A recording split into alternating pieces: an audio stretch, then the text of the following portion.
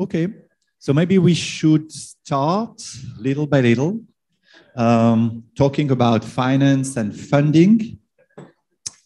Um, I remember that uh, yesterday, uh, I think, uh, you raised a point regarding the funding and finance of those different actions. So I think this is a key, uh, of course, this is a key uh, element if we want to implement climate change adaptation plan or if we want to implement any uh, management activities, let's say. So uh, my, my name is Romain Renoux. I'm the executive director of the Med Fund, and I will be uh, moderating this session this morning. And I'm pleased also to welcome on this uh, very high level panel, uh, Mr. Lorenzo Merotto from the uh, Portofino MPA. He's in charge of uh, science, besides so many other things. We were talking about that. When you manage an MPA, you do quite everything. We have Carol Martinez, also part of the uh, MedPAN team, who will be uh, sharing with us the recommendation of this, uh, of this um, session. Aniol Esteban will be also joining us in a few minutes. He is a marine biologist, environmental economist, and the uh, director of the Marilles Foundation. But he's having now an interview with the radio. So he's very famous guy. So we will uh, maybe uh, start with Lorenzo and he will join afterwards. And then we'll have uh, Timothée Cook from BlueSeeds online. Hi, Timothée. We don't uh, see you, but I hope that you are uh, Hello. online. I see you and I can hear you. So maybe to start with, I think that we have a video. I remember that uh, well, they, they, this is sorry. This is the title of the of the of, of, the session. So financing, investing in healthy marine ecosystems for a sustainable and resilient future. Well, this is a very poetic way of saying that we we need funds, or right, to implement our management uh, activities. So maybe we should start with the video, I guess. Yes, thanks.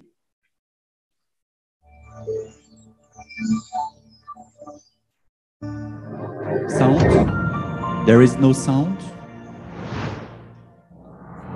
Distance. Our marine environment provides us with many goods and services. Natural capital accounting is a methodology that helps us visualize all this and provides us with information to take action to protect and improve our environment. The mix of marine habitats and species is our natural capital. The healthier it is, the more benefits and services we get.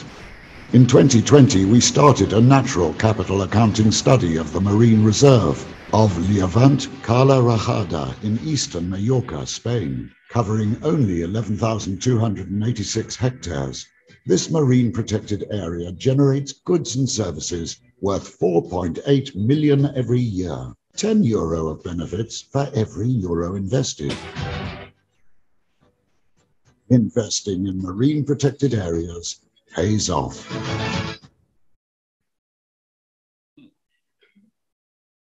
Nice video to start this uh, to start this session. So just a couple of slides I want to share with you because uh, before I pass the floor to Lorenzo, um, just saying that, and we talked about that this morning, and I think yesterday also, is that marine protected areas are a triple win. Uh, they preserve biodiversity and marine ecosystems, so we saw that, but that also contributes to the climate change mitigation, but also the adaptation of the coastline. We also talked about that this morning. But they also provide what we are calling blue economy activity. They do support the implementation of blue economy activities. So how we could capture that? So this this uh, part of the talk of this, uh, of this morning. Uh, the Med Fund, just in a nutshell, uh, the Med Fund is an environmental fund dedicated to support day-to-day management activities of marine protected areas across the Mediterranean Sea. Uh, at the Med Fund, we believed that a skilled management team and sustainable management team plus sustainable funding uh, deliver efficient and sustainable MPAs. So looks like basic, like like that, but it's actually true. There is a lot of MPA across the Mediterranean Sea. They don't have sustainable management team because there is a big turnover, or they don't have sustainable funding. So how we can promote, let's say, MPAs to decision makers, political leaders, and this is part of the talk of this morning. How can we use the natural capital to also convince leaders that investing in MPAs pays off? So I give the floor to start to uh, Aniol, uh, Esteban. So you'll have like almost 10 minutes each, and we keep the question for the at the last of the presentation.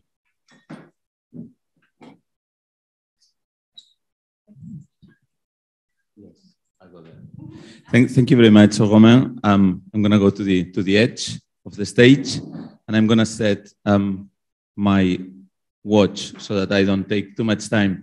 So uh, thank you very much, uh, everyone. And it's great to have the opportunity to tell you about this pilot action that Marilles Foundation led. And because I don't know if I'm going to have a chance to, to say it later, I would like to say now that um, apart from all the effort that um, MedPAN coordination team had put in organizing this, this has been one engine behind one driving force making this possible, which is this man sitting down now, which is Tony Font. And I think he deserves a big clap.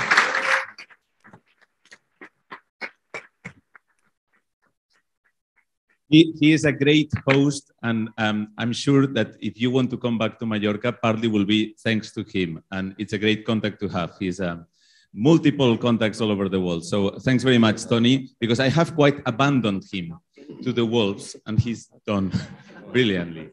Um, okay, now that I have uh, shaken off my guilt, I will tell you about this, um, this project. So the, the main reason behind this uh, action is that if we are not able to explain and describe the benefit that marine protected areas have, the benefits that marine protected areas bring to our society and our economy, then we will be very, very, very um, unable to get more funding and secure the level of funding needed to make them work as they should. So, quick photo of the Balearics region is um, one of the best preserved regions in the Med. More than 400 fish species, half of the seagrass meadows, Posidonia, that Spain has are in Balearic waters, resident population of, of um, large megafauna. Um, however, it's a region under pressure the level of pressure on these islands is tremendous. And massive um, um, um, amounts of, uh, of visitors, uh, growing recreational fishing, growing nautical pressure, still problems with wastewater treatment, different um, um, challenges that need to be solved. The professional fishing fleet has been massively on decline over the past years, but there are some good basis for change. One is that um, we, we hear, um, we sense a change from society, from the private sector and from the public sector, which is um, favorable for marine conservation. And we have a network of marine protected areas covering about 20% of the sea under some form of legal protection. However, only 0.16 or 0.2% no-take zone. So if we want to deliver the 10% goal, by 2030, we need to increase no-take zone area times 50 in less than eight years. MPAs, being very simplistic, are created for two reasons, as you know. Either fisheries performance, such as the fisheries marine reserves, or biodiversity conservation. And you might have different forms there, like natural parks, national parks, Natura 2000 sites irrespectively of what they are created for, these are mutually reinforcing um, objectives. So they help to deliver each other. But they deliver much more than the uh, objectives for what they've been created. They deliver economic activity, they deliver educational opportunities, they deliver leisure, well-being, uh, opportunities for sports, for health. However, for this to work, we need to invest. We need to invest in management, coordination, enforcement, monitoring, participation, and so on. And applying natural capital accounting to a marine protected area, thinking of a marine protected area in terms of a capital, of a, of a machine that generates benefits to us, hmm, can be a way of um, making visible that relationship between the economy and the marine environment. So if we think about our marine environment or a marine protected area as our capital, hmm, as the money that we have in the bank, for example, um, this capital generates goods and services, fish, leisure, climate regulation, and so on. If we have this capital in good health, we deliver lots of benefits. And if we have it in bad health, we deliver fewer benefits. Pretty simple to understand, and most of you already know this. However, the challenge is that most of these benefits are invisible. And unless we measure them, we can't visualize them and we can tell the story. So the natural capital accounting methodology helps us to achieve this. And before I, I go into, into detail, I would like to say that the work that I'm going to present now, which is the pilot action that we did in Cala Ratjada Llevant, was done in collaboration with two consultancies. One is um, EcoAXA. David is there. Please, David, uh, stand up so that people can see you. So David did all the, his, his company did all the technical economical and economic valuation analysis. And if you have any specific questions, please go and find him. And then we worked in partnership with CBVA, which is a local consultancy, which did all the data gathering. Hmm? This is an example of um, monetization and economic valuation of one asset, which are the Posidonia meadows in the Balearics. And this shows that the stock value of all the Posidonia for the next, um, looking at 60 years ahead, is in the region of 600 million. Hmm? Uh, so you have a few examples of economic value per hectare in terms of water quality improvement, coastal protection, and ecological productivity. It's an underestimate because it doesn't include many other services that we get from Posidonia, like the pleasure of seeing it, for example, hmm? Or the value of existing per se. Because I don't need any economic uh, argument, and probably neither do you, to justify the conservation of something, but a significant share of society does. So um, that's why we are doing this. How does natural capital accounting works? Very simple, four steps.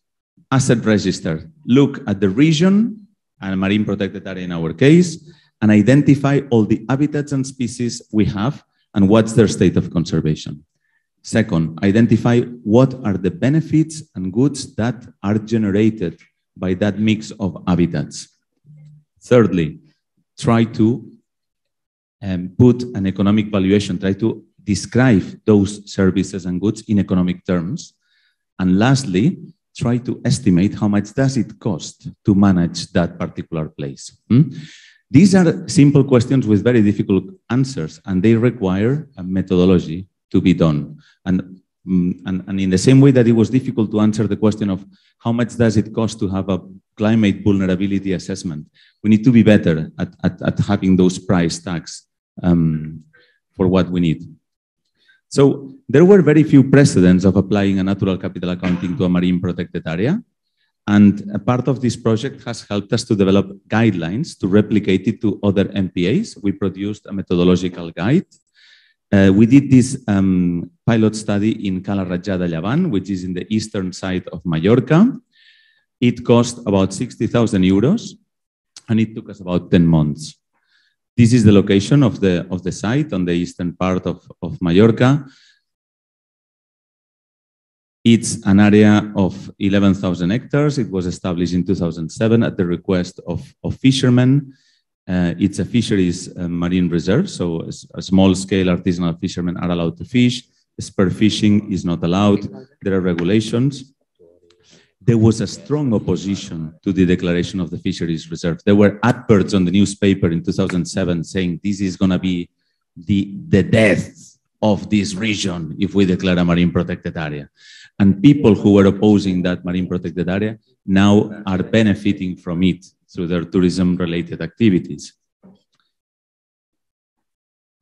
It's a mix of habitats, about 10, 15, 20 small-scale fishermen fish there, and there is some economic activity linked to the area, like diving centers, boat trips, and other leisure activities.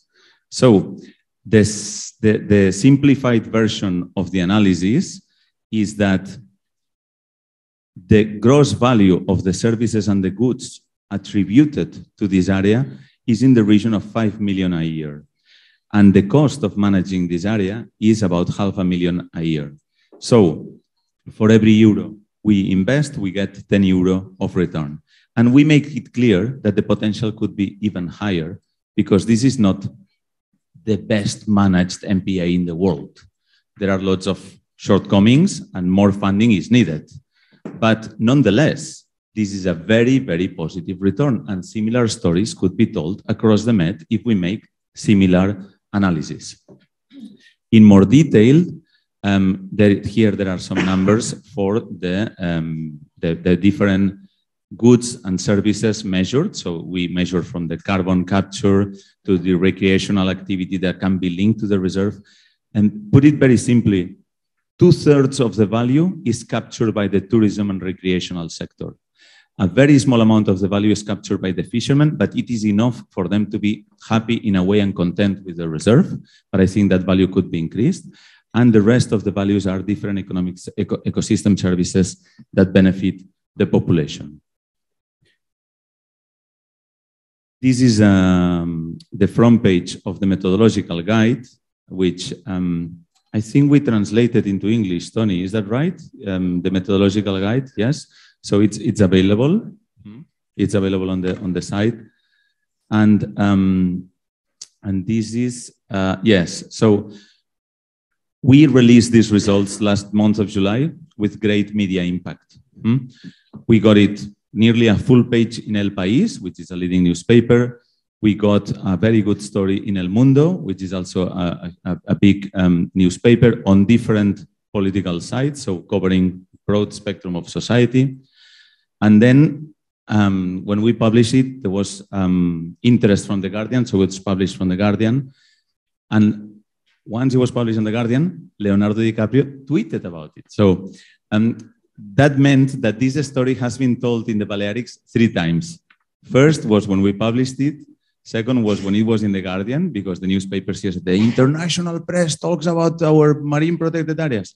And then when Leonardo DiCaprio tweeted about it, Leonardo DiCaprio talks about our marine protected areas. So a big, big media impact for this piece of work. And if you want to, to learn more, um, well, visit the webpage of the, of the project, contact myself or Tony Font. And if you want to follow the work we do, which has lots of economics in it, follow us on social media. Thank you very much. Thank you. Thank you very much, Aniol. That was very clear. And I'm sure that Leonardo DiCaprio goes also to Portofino from sometimes.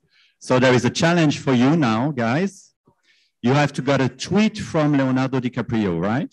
Next time from the for the Portofino MPA. So the floor is to Lorenzo Merotto so in charge of the science in, uh, in the MPA. Good morning, uh, everyone. Uh, thanks uh, to give me the opportunity to speak about uh, this. And um, yeah, we talk, uh, I, I, do a, a, little difference with the, my, the previous presentation because we, we want to um, underline how the natural capital can be an instrument to um, involve the policymaker. So, uh, first of all, uh, what is the natural capital analysis? I am uh, in a MPA staff, so I'm not a researcher, not a proper researcher. And anyway, this kind of study for me is very, very hard to do. So the, and uh, for most of the people understand what is the capital natural, natural capital is very difficult. And uh, so we have uh, an ecosystem that provides us uh, the natural capital. Uh, so for example, the, our environment, seagrass, coralligenous, etc. Some ecosystem function, for example, also the fish. Then ecosystem services that can be different. The services for the fishers, For, uh, for example, the Posidonia Meadow give us a lot of services, protect the coast for erosion, give fish, um, carbon sequestration, and go on. And then all the socio-economic system with benefit and monetary value. The um, so socio-economic system can do some impact on the ecosystem. So the socio-economic system um, can erode itself, eroding the ecosystem. I don't know if it's clear, but the, the situation is more or less uh, this. Uh, so now I, I didn't do a presentation on um, uh, Portofino MPA because yesterday Valentina do this, uh, did this, and uh, uh, more or less my presentation is the sequel of the one from Valentina. So um, in collaboration with University of Genoa, uh, because uh, as I said before, I cannot do this kind of analysis. We provide data, for example, the one that yesterday Valentina uh, talked about. They elaborate with us, and uh, at the end we have results. For example, these are the results of uh, the, our natural capital in the MPA, in the different habitats, and uh, it's estimated about uh, um, 18 million of, of euro, mainly for uh, on Posidonia, Coralligenous, and uh, uh, Photophilous um, um, algae. Then, so this is what the natural capital, what we have in our MPA. Then there is, there are the economic, um, the economic activity. In this case, yesterday we talked about the fisheries. So we have done a um, lot of monitoring. We give the data from uh, monitoring uh, to University of Genoa and do this uh, elaboration in the framework of MPA networks. What uh, we can see that uh, the um, artisanal fisheries harvest, so uh, subtract from um, our MPA 380,000 uh, euro of natural capital. So, and in these graphs, it's possible to see that uh, um, the, the, um, the grade of natural capital uh, eroded can be sustainable or not. For example, we see that uh, you see some sectors that are in red in the sector, there is a lot of uh, uh, impacts, a lot of harvests from fisheries. So maybe we have to manage this. In other sector, the, the, the situation is better. What I want to that underline uh, um, after, that uh, in Samaria, let's say here, near uh, Portofino Cape, the situation appears good. But uh, this is for a lack of data that uh, I, I, show after. Um, so the key facts, the results can help us to reduce impacts, to make the, some, um, um, some uh, consideration about uh, the impacts of the activity on uh, the specific habitat. And uh, um, so it's necessary to use the natural capital value as communication tool with uh, uh, decision makers and also to the, to the stakeholder, because often the, politi the policymaker and the stakeholder doesn't understand the importance of an MPA from a monetary and economic point of view. And um, uh, as I said before, the MPA management can decide and have to decide to use this data to take some specific measure to uh, make that uh, this, um, this uh, uh not sustainable use of uh, resources can impact uh, sometimes definitely in the, the, the, MPA. And it's important because uh, now I speak about uh, the uh, fishermen, but this kind of, uh, of analysis can do can be done also on, for example, diving activity, boating activity. So it can be expand, extended to many other activities. So um, it's necessary to work with uh, a um, skilled organization, research organization. The MPA staff often don't, uh, doesn't have knowledge and time to do this uh, kind of analysis. And uh, the MPA staff who care the monitoring and participate to, with the researcher to the analysis have to know their area very well in order to understand the, all the factor that can um, um, alter the, the results. And it's very important, the communication, because it is a very hard uh, topic, this one. And often when you talk with researcher about this, um, this, uh, this topic, uh, you didn't understand anything because they are too technical and uh, at the end uh, of one hour of talk, you know exactly the, the, the same that before the talk. So um, it's uh, necessary to simplify all the message of, uh, of this study. Difficulties. I repeat, the team uh, of researchers have to be specialized because uh, sometimes someone improvise in this kind of activities. But uh, in uh, Italy, in Europe, there are uh, teams that in their work do only this kind of research. So they are very skilled. And the, um, the, this kind of uh, study have to be continuously updated because uh, the lack of data can uh, alter in some way the results. For example, um, the, the green area in, uh, that I show um, before is a very impacted area. We know that uh, that uh, is very impacted, but we have problem to gather data from it.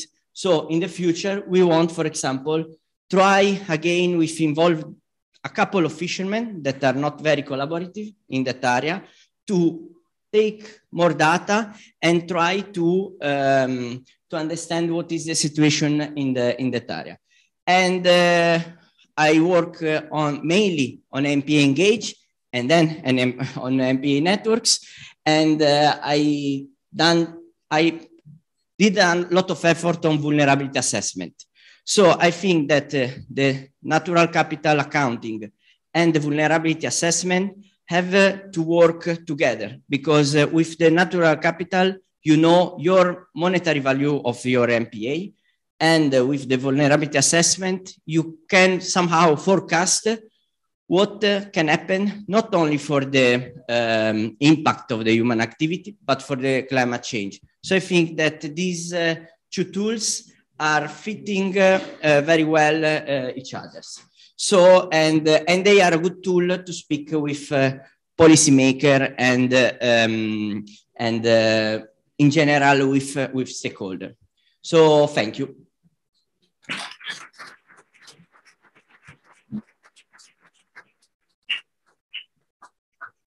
Thank you. Thank you very much, Lorenzo. And uh, do not for forget the Leonardo DiCaprio challenge. Huh? Yeah, yeah, yeah. Next year, and, uh, we need a tweet. We have Chiara Ferragni.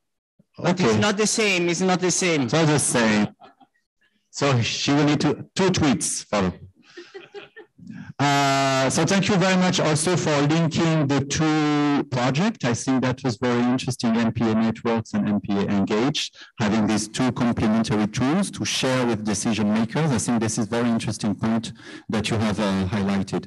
Thanks again. So now we have one, uh, we have um, someone uh, online, I guess, that will make a presentation uh, from, from Bordeaux, maybe. So Timothée Cook from BlueSeeds, the floor is yours. Okay, hello. Um, can you hear me? Not really. Okay, I'll try again. Hello, everybody. Can you hear me? Okay. Does that sound good? Okay, so apparently um, you you guys are supposed to be showing the slides, and I will tell you next slide or something like that. Okay. Okay. Yes, thank you very much. So, yes, thanks. So I'm I'm speaking from Bordeaux here, and um, so it's very hot, as I'm sure it is also where you are. Um, so, yes, the the I was asked to to provide some training insights, and at BlueSeeds we do quite a lot of training for marine protected areas, and it's it's tempting to try when you're addressing effectiveness to give a sort of general training and you think, okay, this time uh, we've nailed it and um, they're going to be good, they're going to be effective. Actually, um, the, the truth is that you need to think about using building blocks. And one of the building blocks that needs to be used um, very often is uh, the building block to train on business planning. So I'm going to get there. So I'm not going to go into detail. Romain has um, touched on this. There the you know sufficient financial resources are a precondition to ensuring that MPAs are well managed and play their role.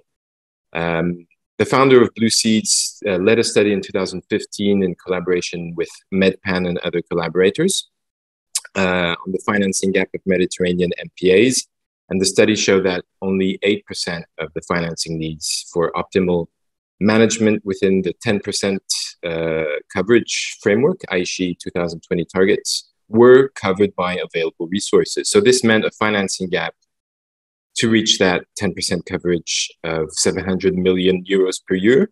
And this was in 2015. So uh, accounting for inflation and a new framework of 30%, a simple linear extrapolation would um, would put that financing gap around 2.5 billion euros per year at the at the regional scale. Uh, and so it's clear there is a, a necessity to provide uh, MPAs with an educational path to enable them to gradually build their financing skills. Next si slide, please. Okay, so so one of the, the first skills required by MP managers to develop a financial strategy is business planning. And so, just quickly, although this may seem obvious to some of you, it was not to me at first because I'm a biologist by training. What is a business plan? It's it's a plan of all of the costs and revenues of your MPA that are related to its activities over a period of, let's say, five to 10 years. And the first thing you need to do before you start building a business plan is to make a list of your activities and their costs. And in order to do this, you need a management plan with a detailed action plan. Um, and so, what is the purpose of all this? Well, without a business plan, you have no idea how much money you need to fund your conservation activities with. And therefore, you have no idea of what your financing gap is, and you cannot, therefore, develop a financial strategy. So, it's pretty basic, but uh, trust me from our experience, not a lot of uh, managers or MPAs have the skills, time, or interest to develop these um, these plans. And currently, only around 28% of MPAs in the Med have a business plan. Uh, so part of part of the networks, MPA networks Interreg project, with the support of the MAVA Foundation, the Fonds Français pour l'Environnement Mondial, and the Office Français de la Biodiversité, MedPan launched a training program on business planning last year, designed and de delivered by us Seeds with the support of Brioni National Park. And um, most of the content of the training and its, its general structure was inspired by this guide that we've published last year, which is called Financing Mechanisms for Mediterranean Protected Areas. Next slide, please. So how did, how did we organize this training? As we all know, unfortunately, Mr. COVID got in the middle of, uh, of a lot of things last year. Um, and so, although this was initially scheduled as a face-to-face training in the real world in Brioni, we had to move it uh, online. And so that was a challenge for us because it's not uh, there, there's no real sort of um, let's say uh, solution fitting all to do this. So we we tried this hybrid approach, which actually worked pretty pretty well, which was a combination between autonomous e-learning and online face-to-face learning. Uh, so first we we had the sort of kickoff meeting and the participants were made to watch online videos that we had prepared and then they were made to work autonomously on their on their business plan using uh, what's called the medplan tool which is a business planning matrix uh, that was made by BlueSeeds for medpan so they use this to work on the financial data and then one week later, we met online face to face with the participants to discuss their results. Um, and, and then had them watch some more videos and met with them again to develop the financial strategy. Next, uh, next slide, please. Uh, so these videos are available online. Um, so the, stu- the two-step uh, approach to this training, uh, first step was to have um, them watch the two first videos, giving context and um, and providing a detailed, um, let's say, guide to building a business plan. Next slide. Thank you. And after uh, meeting with them, we had them watch these three other videos. Video three uh, was on uh, how to reduce costs and optimize reven revenues. Video four on how to choose appropriate financing mechanisms. And video five, examples of self-financing mechanisms. Next video, please. Okay, so who were the targets of last year's training? They were, well, the MPA managers and financial officers at Mediterranean MPAs, those that are the most concerned by um, using a business plans. And so in all, we trained staff from Mediterranean MPAs. That is approximately 16 people. There's a map here showing their, their distribution in the Med. Um, so uh, Ashtum El Gamil Protectorate in Egypt, Gökova Bay in Turkey, Tyre Coast Nature Reserve in Lebanon, Portofino, MPA in Italy, Landscape Park, Debeli Rtič, someone will have to tell me if I pronounce that well, in Slovenia, um, and Strunjan Landscape Park in uh, Slovenia, Hima Anfe in Lebanon, and Significant Landscape Canal Luka in Croatia. Apparently someone is mentioning the slides are not appearing on the screen, so I'm not sure if the remote participants here actually see what I'm talking about. Next slide, please. Your slide. Okay. Next slide, please. Okay, thanks. So, so what are the key lessons learned um, from this from this training? Okay, so the the first one was that it, initially this was meant to be a physical in the real world training. And it turned out that we had very good positive feedback from participants. Um, and so this was not just to please us. You, you can tell when people are trying to, you know, to please you. Um, most participants, even those with considerable uh, experience in the um, in the in the business planning, uh, said this gave them perspective, and so that for us was a very good message. And also, it turns out that compared to the, the physical trainings on business planning we did previously, this is a lot more flexible. And the approach uh, here allows qualitative individual work, allowing each person a hands on approach. Okay. Um, and so, because of the diversity of, of situations, um, it turned out that people uh, asked for, let's say, um, individualized uh, business plans. So this you know individual individualization of of approach is basically impossible in physical face-to-face training where uh, the, the global approach is the key um, so so that was also very important um, the training stressed as was already known the importance of management plans for building business plans if you don't have a management plan or or even an overall idea of where you're going um, you, you, you just can't build a business plan.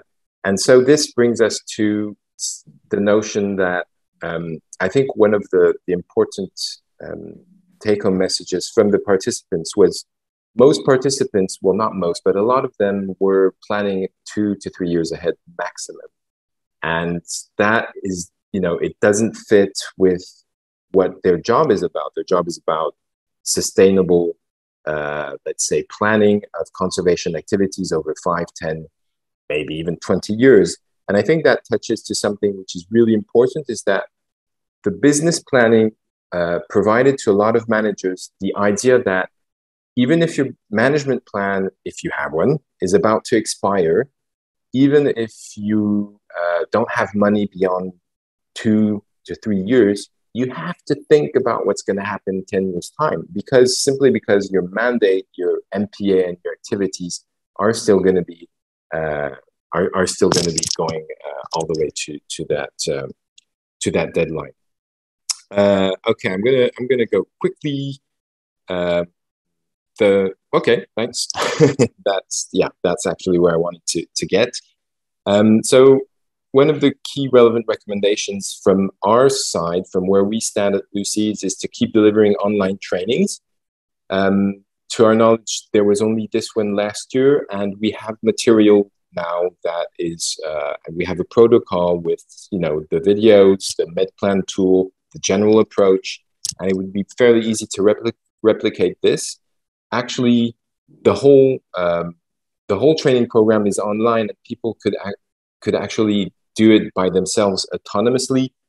But uh, although that was one of the goals for for putting everything online, I think uh, it's pretty clear that people won't do this by themselves. They they need some incentive. They need someone to take them by the hand. So even though everything is online, uh, open access, and people should be able to do it autonomously, they need some incentive. So we still need to continue uh, training programs. Uh, we need to encourage a linkage with, with management planning.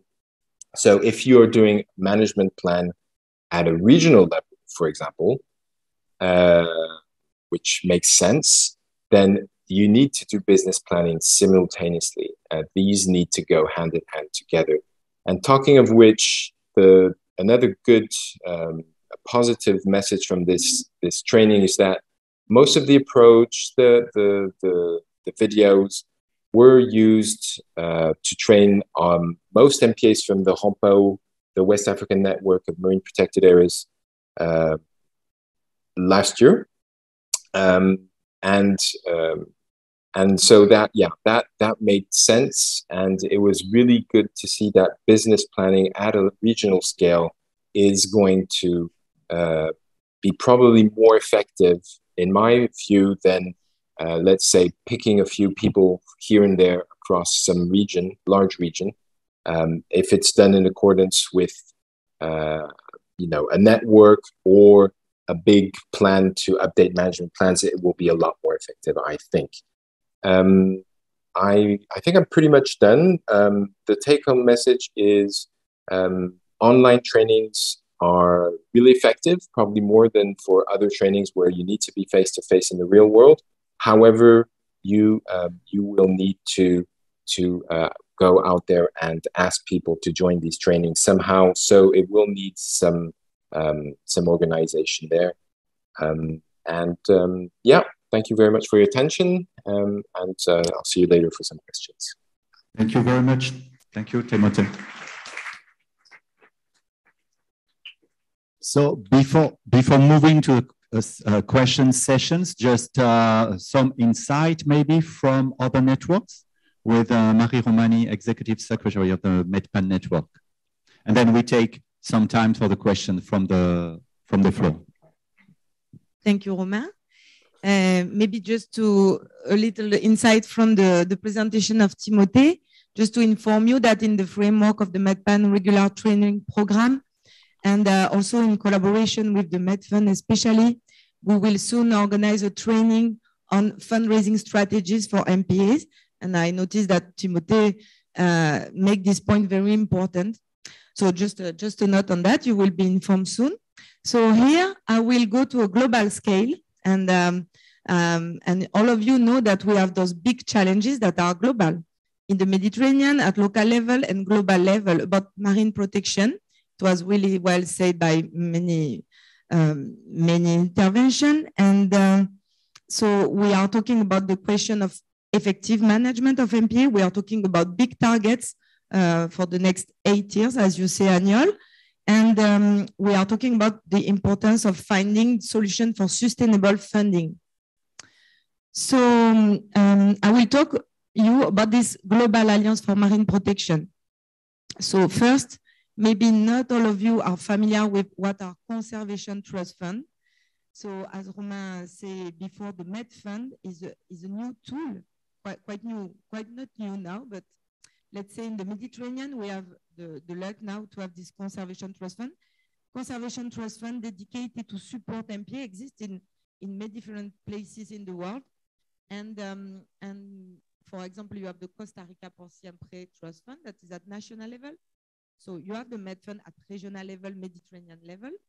You have the MAR Fund that is um, uh, related to the Mesoamerican Reef region. You have the Caribbean Biodiversity Fund, etc., etc. In West Africa also, you have several national or regional funds. So those, those tools are key to support MP operation and recurring, recurrent costs with a long-term perspective. You have also some network of conservation trust funds, like Red REDLAC in Latin America, CAFE in West Africa, Pacifico also, and those network, like network of MPA managers that maybe you are more familiar with, help to build learning community to share best practice between the different uh, trust funds. On another hand, you have the network of MPA managers.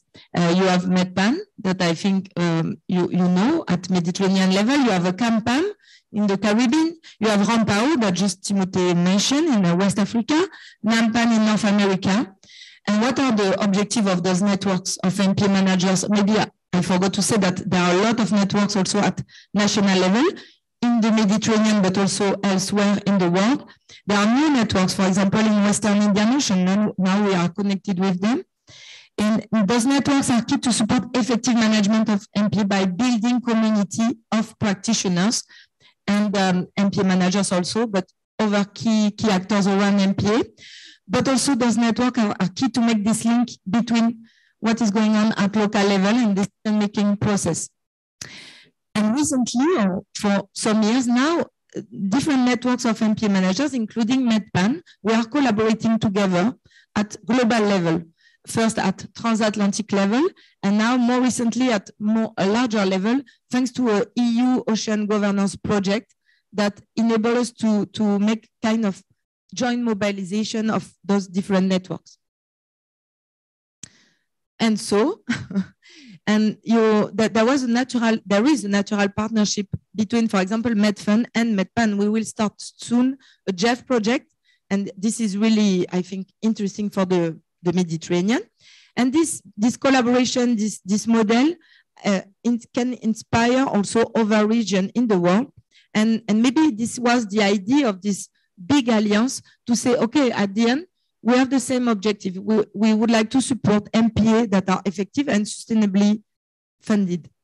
So we, with different trust funds, with networks of trust fund and networks of MPA managers at different levels, let's say, we are we want to join forces to, to do two things, to create um, um, a global community of practice to exchange, especially on the question of fi financing of, of MPAs, and then also to bring so the voice of MPA managers. And, and you know that MedPan, we are doing this. Uh, many of you are member or partner of MedPan, you, you know that. But we cannot be the only voice. For example, at global level, MedPan alone, it's difficult to have some, some weight. If we go, we go already with our networks of MP managers elsewhere. And now we will go with Conservation Trust Fund, of course, with the Med Fund and with other net, uh, networks and other trust funds. So just to say, I would like to, to be brief, but just to say that we launched this alliance. It's, it's just a start.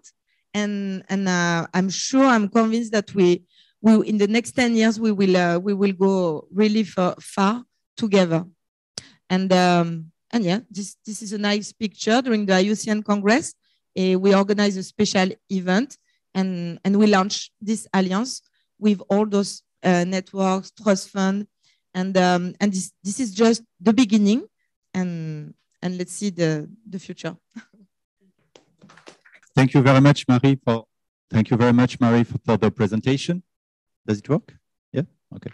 Uh, so now it's time for some discussions uh, regarding the presentation we had this morning on funding and investing in marine protected areas. Uh, question from the floor here in Palma, or maybe questions also online. So we want to start. Yes, Christophe.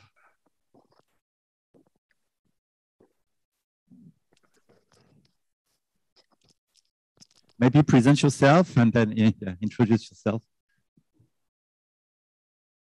Well, hello. I'm Christophe Baker from the Fundación Capital Mediterráneo. We are the last arrival on this wonderful boat.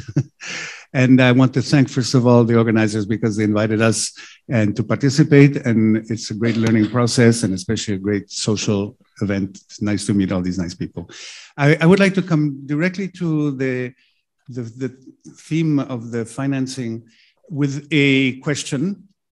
Is it possible to imagine some kind of uh, economic compensation mechanism for what I would call the creators of life, anybody that's engaged in MPAs and around in the surrounding areas who are actually contributing to the increase of biomass and biodiversity, but are not recognized. I mean, I'm just taking an example of an of a farmer, organic farmer, who's having great difficulties to place his products because of the market the values.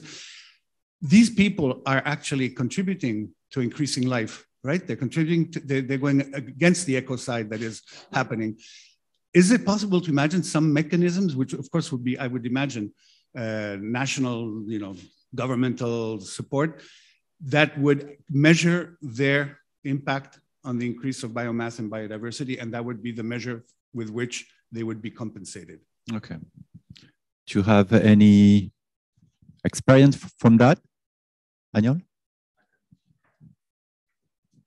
I, mean, I don't think you can find the type of example that you are saying. I mean, when we try to regenerate and improve the state of conservation of the marine environment, you need to implement a program of measures. And that program of measures generally is directed and designed and led by uh, public initiative. And in some cases, there is private initiative. However, I'm more interested on the other side of the coin of what you're saying, which is all those actors that do benefit from the marine environment and that are not contributing to it. Because uh, for me, that's the, the biggest asymmetry that we have. So we have the marine environment and marine protected areas throwing loads of benefits to our society, to the tourism sector, to the yachting sector, to the fisheries sector.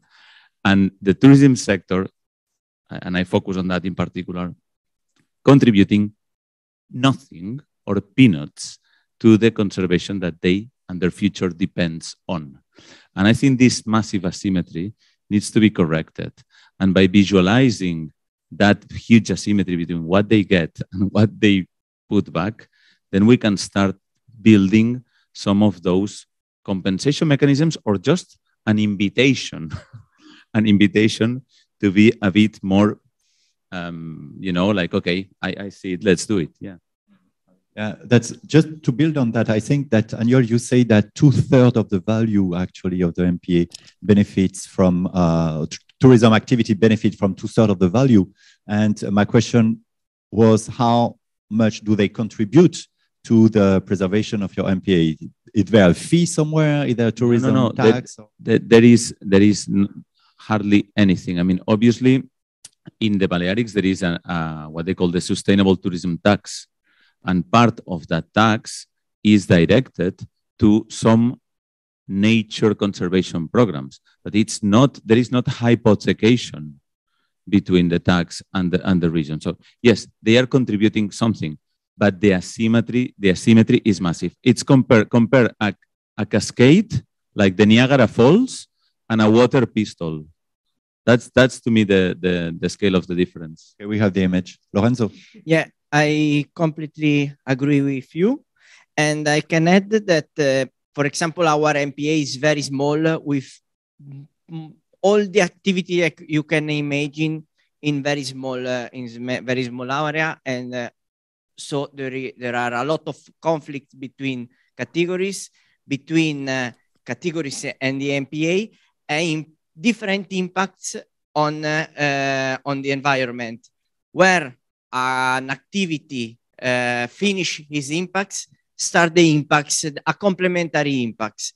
And um, it's very difficult because we do a lot of effort to make understand to the our stakeholder that they depend by uh, the ecosystem.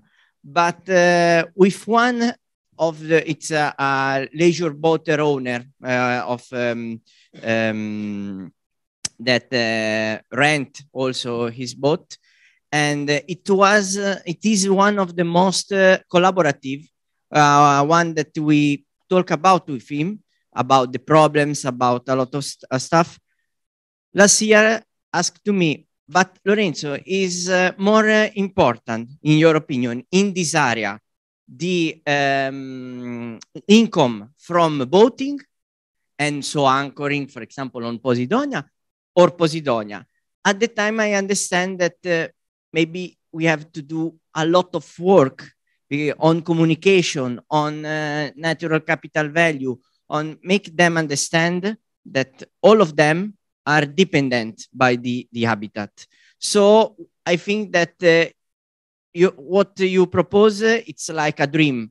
Now we are uh, uh in, uh, in a situation uh, worse for, for in, in Portofino, but for example, I, in all the um, Italian MPA. So we um, maybe this is the future, but now we have to um, to do a lot of work to preserve and to make understand to do, don't do impacts.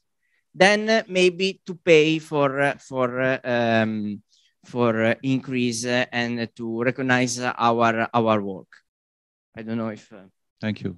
Yeah, and just maybe to add before passing the the, the, the, mic to you. Also, that there is some mechanism called impact investing, where uh, some organizations are uh, supporting uh, financial uh, activities or financial companies that do good for the business, but also do good for the environment.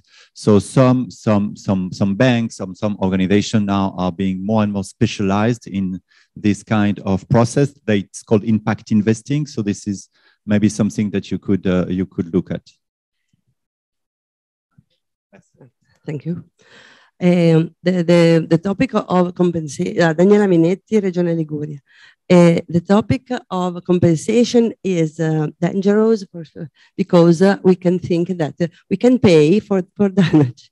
Uh, and, uh, and all technical um, community study to understand how we can uh, value the damage, uh, the environmental damage, and how much uh, it they, cost.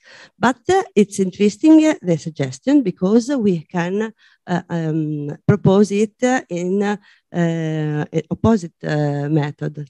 But uh, we have to understand how we can pay the ecosystem services and how ecosystem services go inside the chain value and how we can pay the value of these ecosystem services in all the step of the product or the fish, for example, or, or all of the, the service that we can use in this way we can compensation uh, this uh, uh, this thing. And there is another uh, topic is how we can uh, recognize uh, the value of ecosystem services for who implement the value of biodiversity for who have an, a positive action for environment.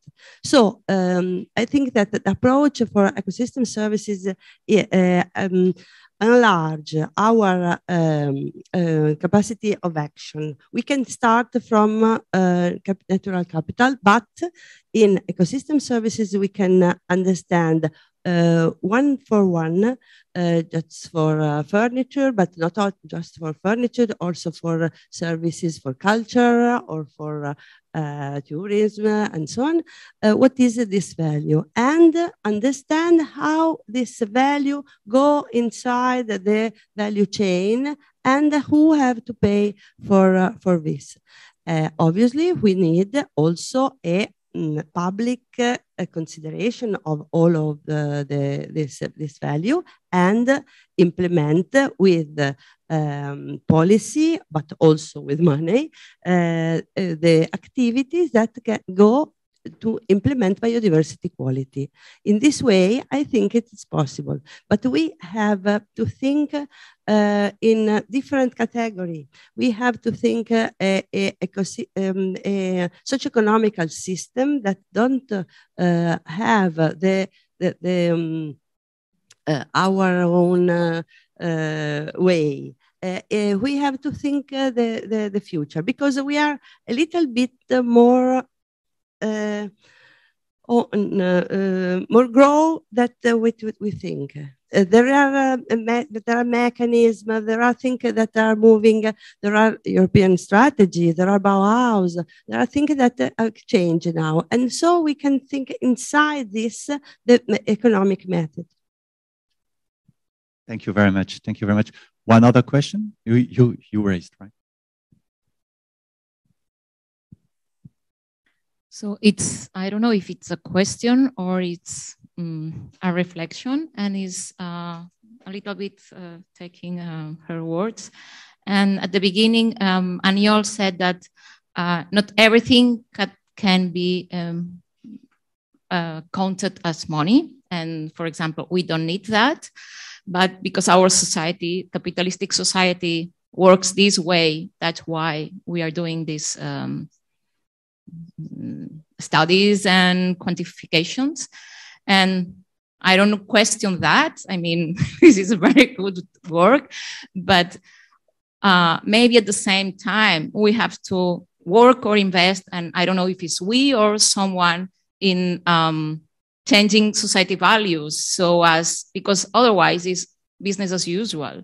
And, you know, we are changing um, the way, but not really the, the way we do things. I don't know. So it's something that I think maybe is inside every one of us.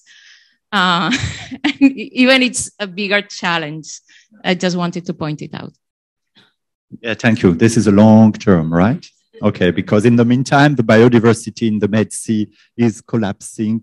So we need also short term. Short term, I think it both goes together.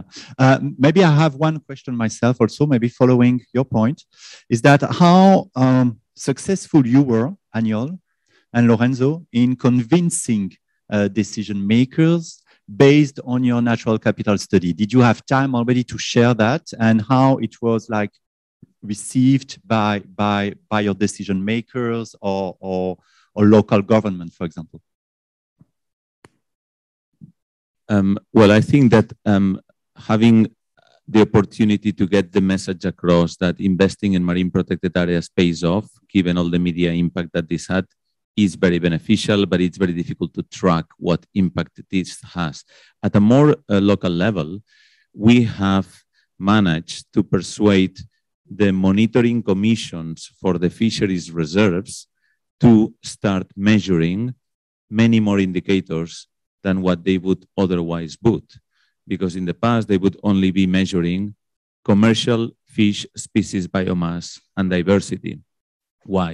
Because they were created for fisheries performance. Hence, I only measure this. This is my responsibility. But we said, hey guys, open your minds and try to measure all these other impacts because then you are able to put forward a much more persuasive and compelling case for marine conservation. So I'm also working very closely with Tonyfond because Tonyfond has been doing all this archaeological work of following each one of the monitoring commissions and ensuring that they meet and that they have an agenda.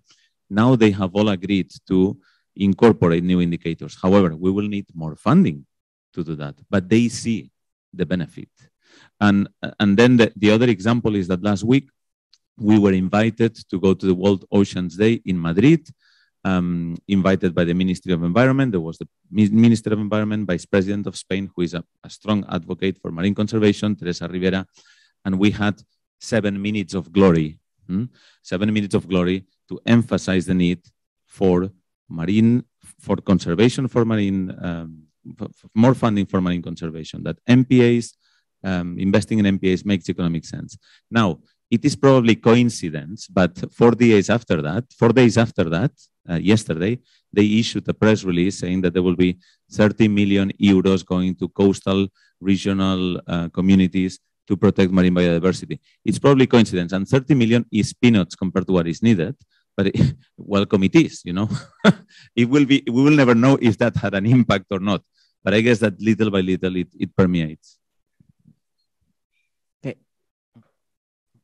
In, uh, in our case, uh, we use this study.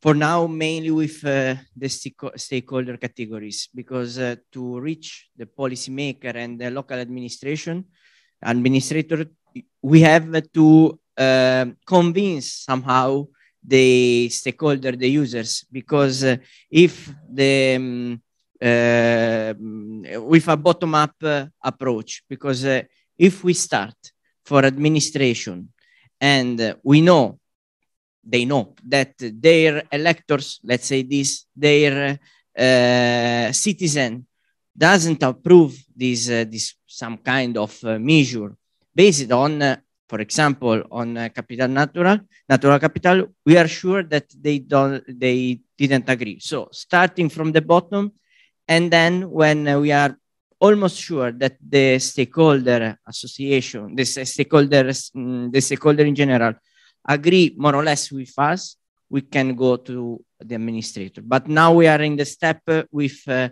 to convince all the stakeholder. Thank you. Well understand. You had, uh, yeah, yes. raise your hand and. Yep. Um, I, I okay. cannot be more in agreement with the Catalan colleague uh, concerning uh, what we have to include in the accounting.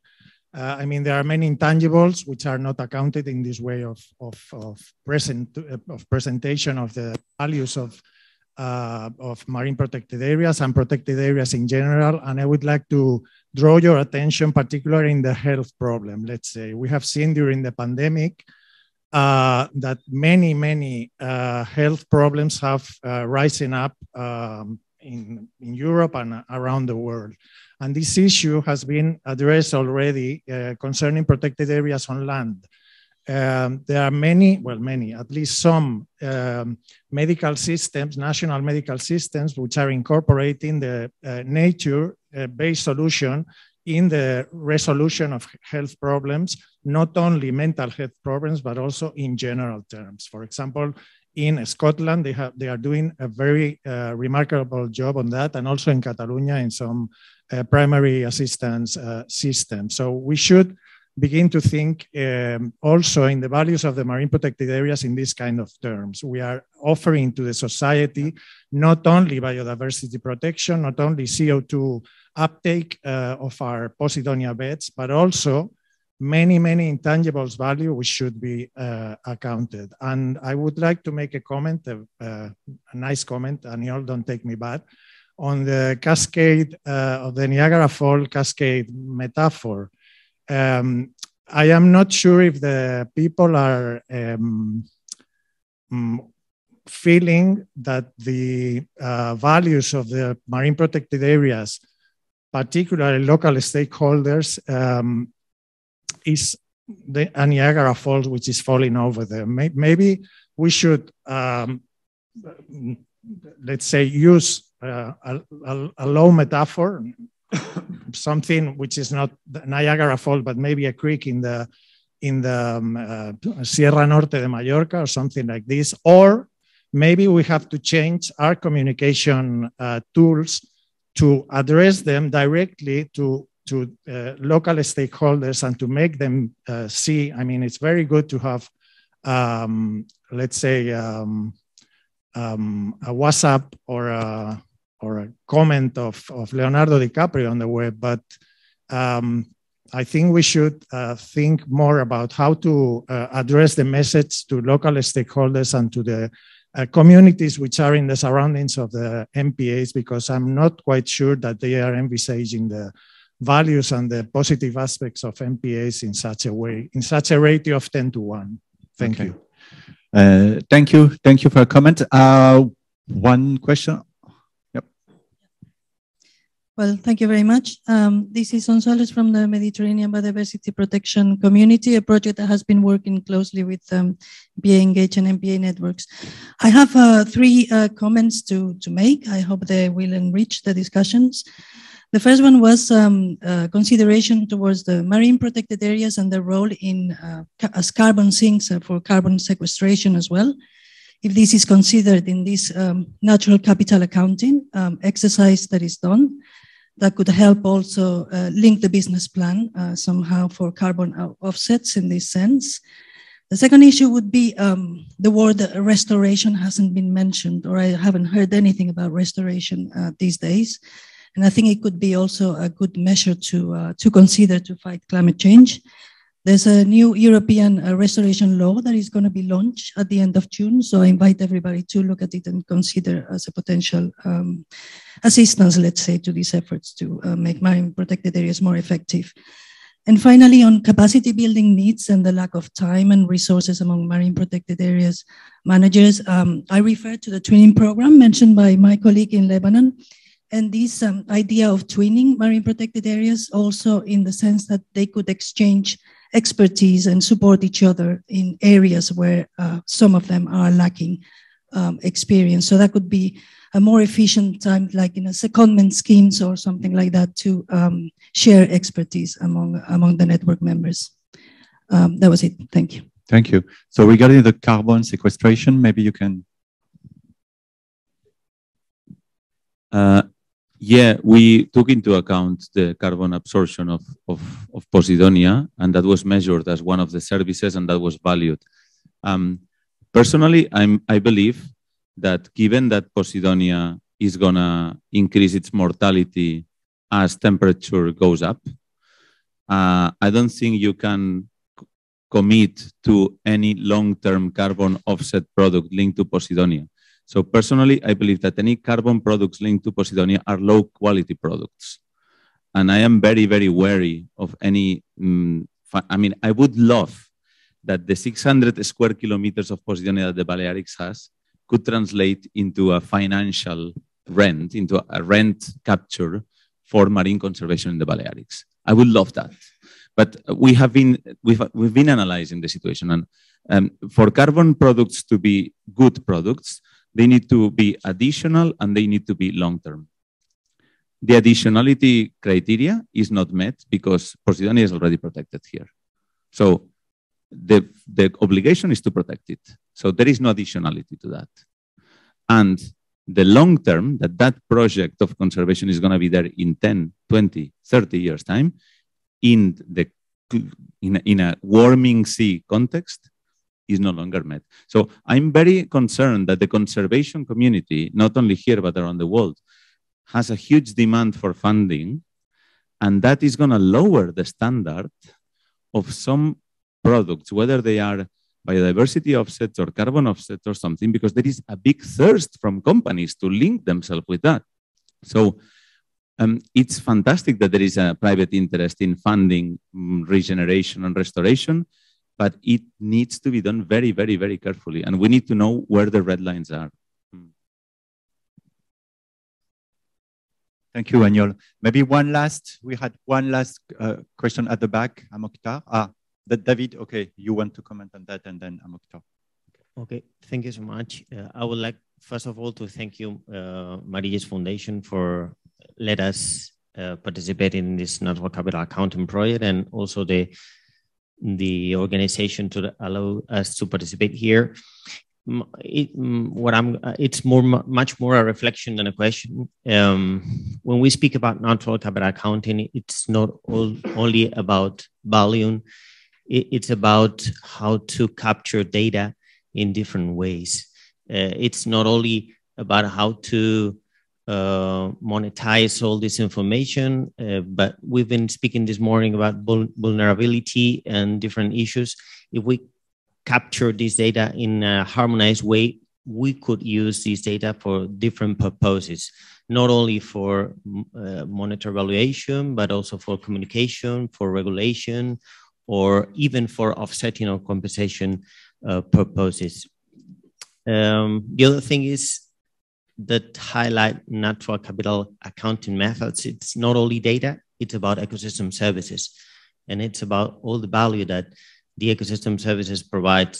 So it's important to have this harmonized way of collecting data, not only at a habitat species and economic terms, but also um, the ecosystem services um, data and information that our colleague from Liguria uh, told us because it allows us to the to to link it with the next point that uh, have been mentioned in in in in the last um, presentation. It's how to finance all this marine protected area because if you have all this information and which are the, the ecosystem services which new business plan can be based on this ecosystem, ecosystem services uh, provision, either provisioning, regulation, or cultural, you can, the, you can build the business plan that uh, it's needed to finance MPAs. Thank you so much.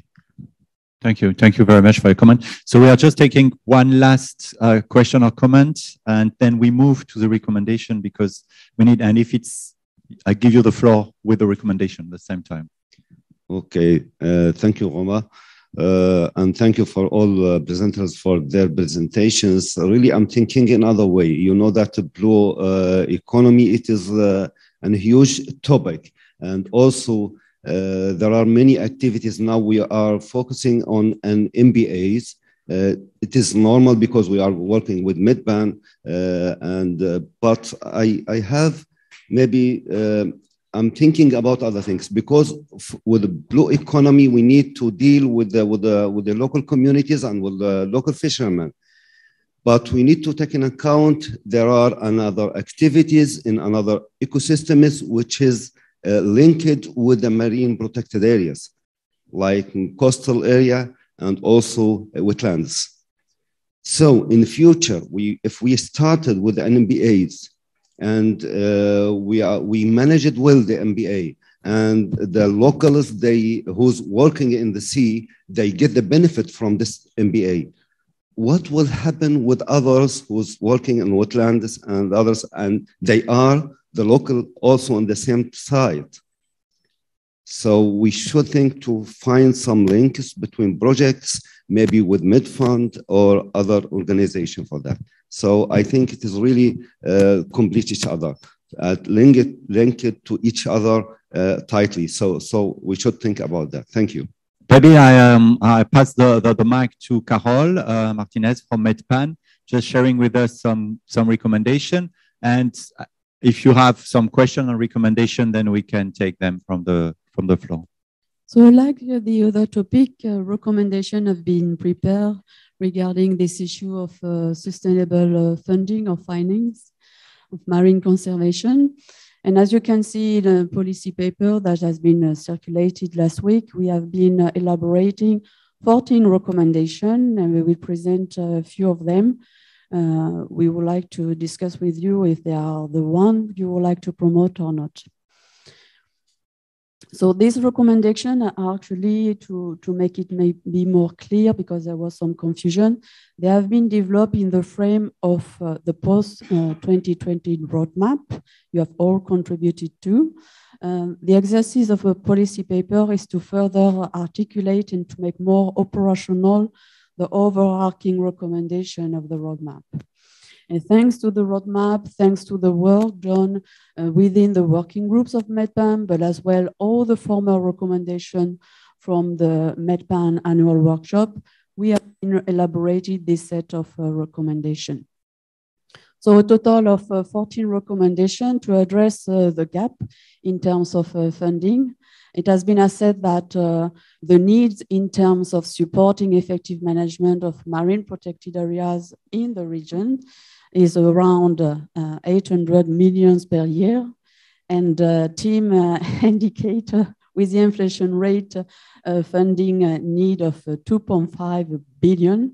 It's a quite huge inflation rate, but nevertheless, there are needs to address. But um, if it looks impressive at the first sight, actually, when you compare these figures uh, with uh, the economic output of the tourism, for instance, it represents only 0.2% of this uh, economic output of uh, the tourism sector, or even only 0.17% uh, of the asset delivered by the marine resources.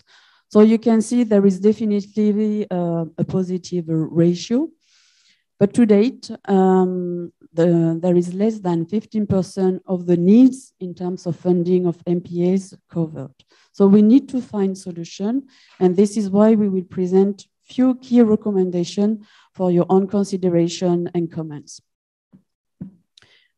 So these uh, recommendations are supporting the key message we will convey tomorrow regarding the need to catalyze sustainable financing opportunity for this uh, Mediterranean Sea. And the first set of recommendation is definitely echoing the pilot action, the results, meaning that we need to promote support economic analysis to show actually that uh, providing financial support to marine protected areas, it's investing, investing in natural capital, investing in sustaining all the diversity of uh, uh, ecological services we are benefiting from marine ecosystems that are preserved through marine protected areas. And this definitely to consolidate the economic value of marine conservation efforts. And here again, to highlight the additionality of marine protection efforts, in addition to the existing economic value. So again, thanks to this project, MPA Networks, we have been able to support uh, natural accounting, but we need to actually expand these efforts to have a, a, more accurate understanding of what does it mean at the national level and then regional level. The second recommendation is actually very linked since it's about having a more accurate picture of the funding needs. Uh, we hear figures, for instance, we have these big figures at the regional level, but what does it mean as the site of the marine protected areas? What does it mean at the national level or even the sub-regional level? We can think, for instance, of the Adric region. We need to support assessment of the needs in terms of funding. And this to support the development of business plans. You can only argue and uh, call for further fundings when you really know what you need.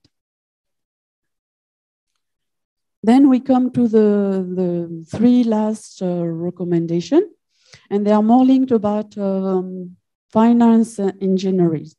And we heard already uh, the word of fees. So what came from the different uh, discussion through the former workshop, but as well the, the working group on, on finance of MedPAN, is that we need actually to work as well at the political level to have enabling a national framework supporting the development and the use of fees that would directly finance the marine protected areas. There are already financial uh, system, I would say fiscal systems and tools. The taxes, uh, most of the time, are not directly supporting the marine protected areas. So the idea is to further investigate how the development of fees could directly support the funding of marine protected areas or even network of marine protected areas and how they could address not only, for instance, the purchase of uh, material or equipment, but as well the human resources, the staff. For instance, we discussed with um, National Park, and they told us we have tools, we have fiscal tools but to date, uh, these tools don't allow us to use the money collected to recruit people, and we need people at sea. So this is something to further discuss as a political level, how we could develop the set of uh, financial and fiscal tools and how they can do really address the needs on the ground. The, the other recommendation, it's about um, trust fund, conservation trust fund that Maria uh, mentioned with the uh, alliance. And during the, the discussion, there was a question raised about uh, maybe exploring if there is a need to uh, create, in addition to the MedFund, National Conservation Trust Fund. But we all know that uh, it's a long process. It's quite a costly process. It engage a lot of uh, traders and transaction costs. So as part of the, the discussion, there was maybe as well the idea to maybe not create national trust fund, but as well to see how uh, the MedFund, the trust fund we have at the regional level, could further evolve and could, for instance, have earmarked a national counter to further invest in the different countries, and I would say, why not all the countries of the region. Keeping on the discussing about how the MedFund could evolve and even grow, part of the recommendation was about to help the MedFund to diversify a source of uh, funding and to see how MedFund could actually uh, capture international finance using different uh, source of revenues, for instance, shipping fees, port fees, aquarium fees, tourism fees, etc. So this is in a nutshell the key recommendation we have uh, selected for your can review, your comments. As you know, there are 14 total recommendations. So please let us know if you agree with this kind of selection, what is missing, and how you could further fine tune them. Thank you very much. Thank you, Carol.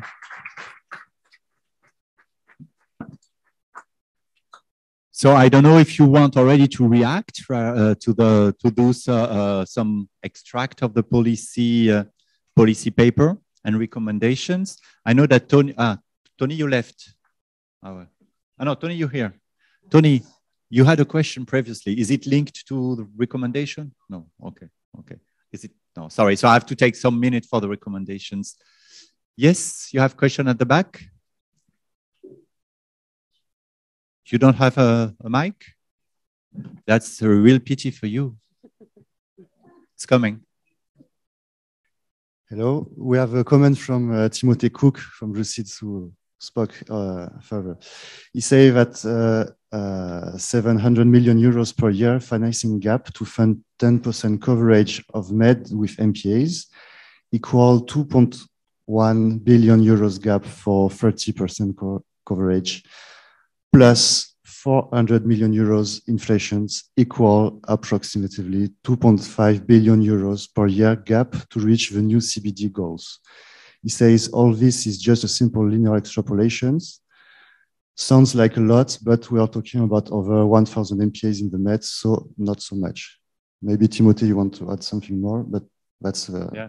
No, that, that's a good point. Thank you very much, Timothée. I think it's very important to have that in mind when we are pushing the idea of having 30 percent of the Mediterranean Sea covered by MPA by 2030. We have to remind that those are to be effectively, sustainably uh, financed MPAs, not only like a magic number, saying 30 by 30. Sometimes we hear that, but it has to be explained that 30 by 30, how, how much money does it cost to really deliver uh, uh, ecological uh, benefits based on those MPAs.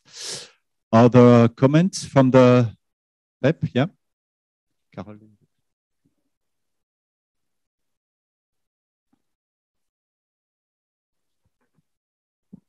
I think it's being said in the, sec in the second recommendation, but anyway, I will I will uh, include uh, a comment on the uh, to push and encourage uh, national government to allocate uh, sufficient funds for the effective management of their national systems of MPAs as the core part of the budget allocated for MPA management. I mean, it's good to find uh, external uh, funding opportunities, uh, funds, foundations, etc. But I think that um, we have a strong need to encourage national governments to increase their national budgets in this direction. Thank you. Thank you. One more comment, David? Just one insight regarding the first paragraph. When we say promote, support the need of economic analysis, I would suggest to include a harmonized way to make the, this economic analysis in a way that it could be compared in the different parts of the MP ways in MPA parts of the Mediterranean area. Okay, thank you. There is also something I think, Carol, that it should be highlighted, but maybe it's highlighted in all your recommendation, is that there is a big gap, as we all know, between the north shores of the Mediterranean Sea and the south shores of the Mediterranean Sea. So uh, this has to reflect somewhere that the financial needs is as important in the south east of the Mediterranean that it is at uh, the north part of the Med. You had a comment also? Thank you. Uh, I, I, think it should be just a suggestion uh, to link the, the, our request for uh, European country uh, with uh, the plan that every region had to, had to do uh, for priority action framework request from European Commission in order to what we need to spend for um, for biodiversity also in, in the sea uh, and for implement policy. And this is the first suggestion. The second one is how we can we can spend the, spend this uh, this money because uh, when we uh, implement our PAF uh, for for uh, inland and also for the sea, um, understand well that uh, not all the, the, money that we have. Mm, better. Uh, not not money not solve all problem, isn't it? Uh, and so uh, if we have money, no, money solve the problem, but uh, not just uh, I have money and, and so I spend to solve. I have money, but I have to involve different subjects to move them to have an, a positive action. Uh, and so, isn't it? not, not directly. I, I, don't, don't, I don't have to build something. It's so easy for an administration. I have to build something. I have money, I build. Okay. No, in this case, I have money, but with, this money, I have to move uh, the um, ecosystem, uh, uh, human ecosystem, to have uh, to implement action. And so I think uh, this is a um, reason uh, that we have to uh, to think well uh, this, this kind of action. For us, uh, when we implement our path, uh, we uh, have uh, many problems to understand the measure in which we can put this money. Um, and the path, as you know, we, we, in, um, we address the path to catch money in all the European program. Uh, and, and so we have to understand well how that program can finance the right action that we need. Thank you. Thank you very much. So I think that we are done for this session. So thanks again to Aniol, uh, Esteban, to Lorenzo uh, Merotto, to Timothée Cook, uh, Marie Romani, Carol Martinez. Thank you all of you for this uh, for this session. And I think now it's time for lunch, no? Uh, Tony. Ah, you want to tell us? Uh, is it? Are we going back to the place we were yesterday evening? I don't think so. Okay. Too bad. I don't think so because all the buses were fully booked, but uh, our, our friend was ready to to uh, uh, receive us uh, because he he fell in love with us and with our projects. Uh, have to say that um, Martina told me that uh, it was the first time that someone said uh, to her, I don't know if it's something that happens to all, that uh, someone was giving a, a, big thank you to the to the MPA's community. So I think it was it was a, a big moment to me. So uh, I wanted to tell some um, logistic things before, uh, and and then I will do a, farewell uh, speak, very short. But um, we have to go out for a picture, a group picture. You have to uh, go and sign the assistance uh, papers that um, Emily is having out there. And also Emily is holding the lunch tickets. So if you want to have lunch, you have to go through the, through the feeding, through the feeding and signing point. And then uh, I wanted just to see that, uh, to tell you that we are very glad, and I personally, to have all of you here. And I want to thank uh, so many people that has been working for that. Sorry, but okay.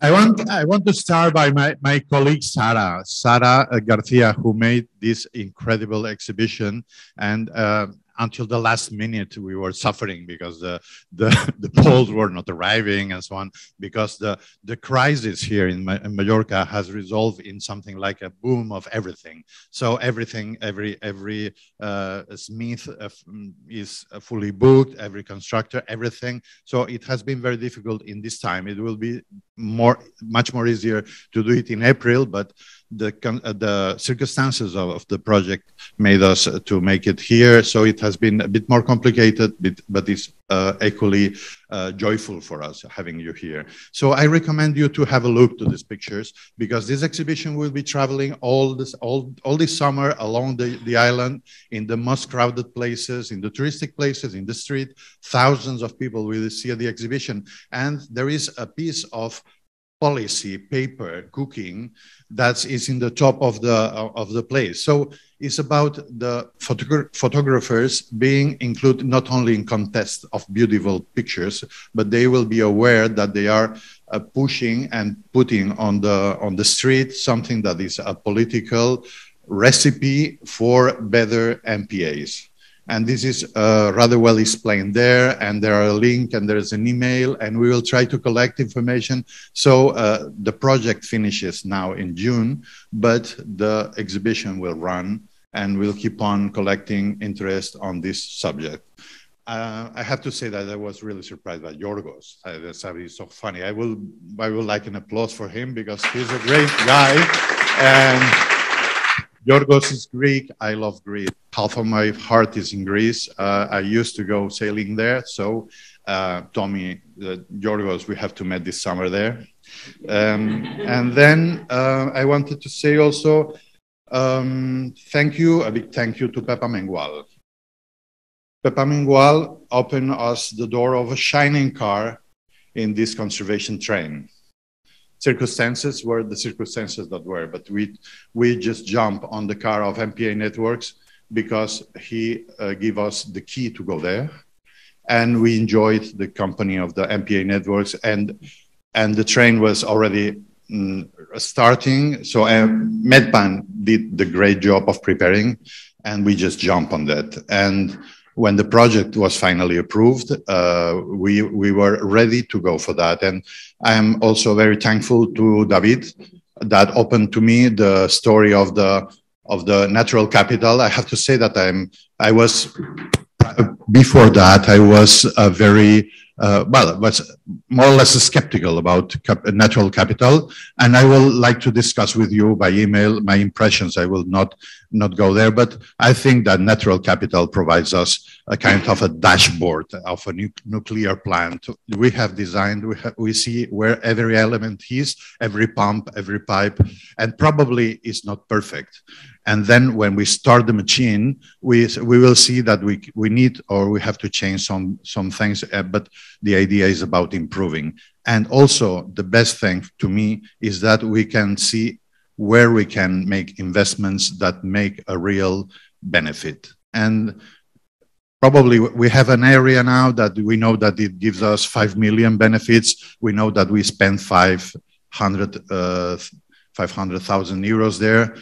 And it will be wise to know if we double the, the investment, probably we can have a marginal Im, uh, impact of three or four times the benefits of this investment. Of course, we will not double the full benefit by investing uh, half a million more, but probably we'll have two or three million if we put the money in the right place. And that's why David Ecoaxa and also the company, the local company, um, CBBA, who helped us collecting the information, and was driven by Mino. That's the same person who was describing the story of the Marine Reserve we were yesterday. I think this will be uh, doing a great difference. And I have not much more to add. Well, thank you to Tony for the night yesterday. Thank you to Daisy from the restaurant Tast that we that she solved very well uh, a, a, little incidents we had, and it was great. We had a great dinner. Thank you to the people in the Rafael Verdera boat that gave us this uh, pleasant place and also the Salem yacht. We have this, uh, I will send you um, drone images and everything uh, if you are not um, overwhelmed to that. And also to the people in Impress Rapid and the company that is making Tony Mir, Satisfactoria, Palma Aquarium that was also providing a visit to the scientific committee. And okay, if I'm leaving, I think I said everyone. Thank you to the or the or joint uh, project MPA Engage. It was a great idea because it, someone asked me uh, why you have done this this meeting. I, I, said because it was impossible not doing it. Yeah. Just few words uh, to thank you all for your kindness, for your patience, for your valuable uh, input. It has been definitely uh, very exciting. I would like to thank again very, very, very uh, warmly uh, Tony and Marilles Foundation for the amazing work done here for preparing this uh, event. Without you, it would have been very difficult. I think we could not have done it. so heartfelt thank you, Tony and Marilles uh, for, for what, all you did. Thank you so much. Thank you as well uh, to our partners. Uh, for sure, it was a bit more challenging to make a joint event. But at it's the not end, over. It's not No, over. no. but at the end, it was fun, and I think we can see here the added value. And for instance, if we pick only the comment from Lorenzo, uh, seeing the the interest to join the tool in terms of vulnerability assessment, in terms of natural capital, I think we can sense here, we can understand here the need to make uh, this a collaboration because definitely at the end, all the issues are interlinked. So thank you very much again to, to you all, but to the team as well, my colleagues who have worked hard as well, particularly to Emily, who is our, uh, uh, our magician in terms of uh, logistic, who has developed uh, wonders of patience. My colleagues uh, Suzanne, uh, Pierre, uh, Marie, Magali, uh, Georges, and Hen, who have been very supportive. As you can understand, we have been under high pressure because we wanted to have more time actually to, to make a proper capitalization, but we were not allowed extra months. So we have been working all together very hard in order to be able to capture all the lesson learned to give back the, the microphone and the light to our partners. And here again, I would like to thank amazing partner we had in MPA networks. You know, I jump on the train in the middle of uh, the, the adventure. We have been uh, lucky to actually meet uh, very motivating, passionate people. And you, you know, this is this kind of oxygen that makes sense when you work hard on a daily basis. So thank you to all the partners for your hard work, for making this project happening, and for all this uh, very rich and useful uh, lesson. It's our duty now to pass on the baton, to work as well uh, with you at the political level. Thank you again very much. I give now the mic to, uh, to Kim. Thank you. Well, yesterday I started my speech or my words. Thank you. And uh, we are thanking again. And I'm, I'm not going to uh, stop thanking uh, all of you for being here, for your participation. I'm not going to repeat all the names because they have been named. And tomorrow we will be, uh, and the next day we will be as well thanking all the people uh, for making this possible because it's, it's hard, but it's necessary. It's, it's more needed than ever uh, to, be, to be together and collaborate. Thank you again as well for being adaptive. Um, yesterday we adapted really well to the restaurant. I think that we can be adapted to this. So we show that we, we can do it. So thank you very much so for this. Uh, I just want to say some, I was listening all the great presentation and uh, there are some words that came all uh, in many of those. Those words were harmonization, standardization, sharing. Sharing is something that appears many, many times. And it's difficult to share. I mean, the word it's easy, the, the, the concept is easy, but uh, making it possible, like we are doing now, it's uh, it's difficult. And I think that we have to pursue uh, on this. We talk about financing, and yesterday I say a number. Uh, do you remember the number that uh, I say? 0.38. And today I have that we get another nice number, 2.5 billion, which is the financing gap of uh, uh, having the. So we have this uh, this um, these numbers here that we have to keep in mind because they have to kind of be our line of, of action to cover all these gaps that we have. And uh, I just want for tomorrow more logistics before I'm uh, giving you the last uh, words. We are opening the registration at 8:45 in the at the Institute of Marine Science in Barcelona. So don't be arrive. Don't, we will be starting at 9:30. Don't arrive at 9:30 because uh, we need to try to keep the schedule because then there is a bus taking the rest of us, the survivors, the the brave ones, to rosas. And uh, if we have delays on the, on the bus and all the things, so try to be uh, there at 8:45, 90ish for for this. And um, uh, have travels to Barcelona. And I just want to finish to uh, with this uh, idea of collaboration and this uh, another word that I came many times is about the local and the different levels at which we are acting. No? And in the MP Engage uh, project, we have this lemma about um, act local and think Mediterranean. No?